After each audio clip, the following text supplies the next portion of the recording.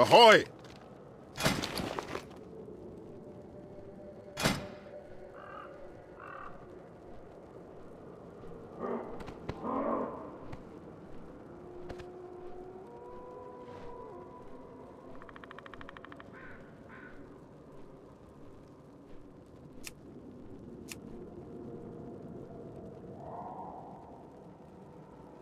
The only good witch is a dead witch.